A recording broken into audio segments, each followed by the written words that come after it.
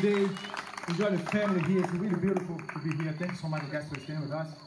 We're gonna say we're gonna sing a song right now.